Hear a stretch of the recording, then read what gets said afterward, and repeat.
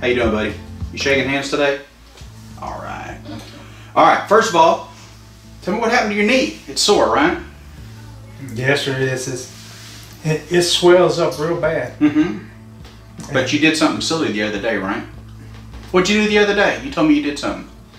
No, I was taking the trash out. Yeah. Isn't that your And wife's job? Isn't she I supposed to take the trash out? I stepped in a hole Just kidding. where uh, So you stepped in a hole. When when when we got flooded. Mm-hmm. Okay, Oh. the people started coming on my yard.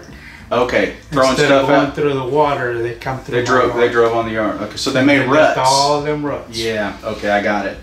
I'm gonna call you Oscar for our video. Oscar, are you okay if we make a little video of your procedure here Yes, today? it is. All right, we were just talking a few minutes ago. There's one muscle in the body that crosses two joints. It's called the sartorius. In your case, it originates on the pelvis, crosses the femur, and it inserts down here on the tibia.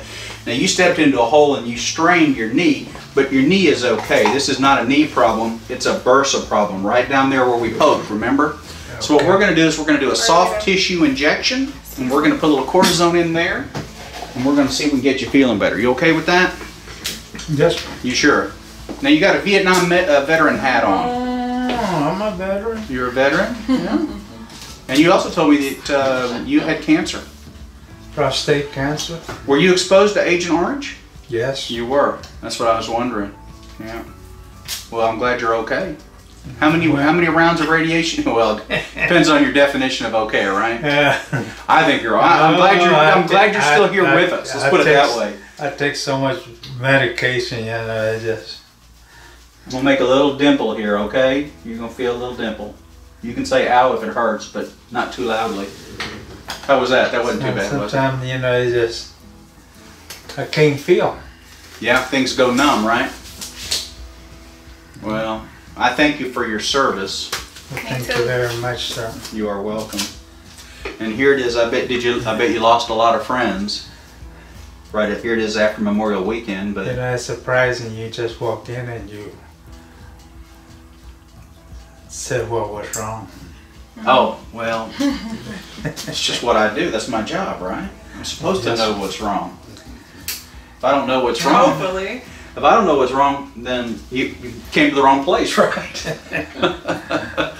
All right. Well, let's see if we can get you feeling better. All right. So I'm going to kind of squat down here. Gummy Jean's going to spray some cold spray on that. Here it comes. That's going to make it feel chilly, and then I'm going to make a little shot right there. There we go. And then down a wee bit. How's that feeling? It's okay. Hurt a little bit. A little bit of a little sting. That's okay, but not bad, right?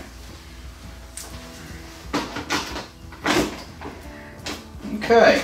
How's that feel now when I'm push on it? Does that seem to hurt a little bit less? Okay, good. Getting a head nodding here. Now go ahead and straighten your leg out a couple of times. How's that feel now?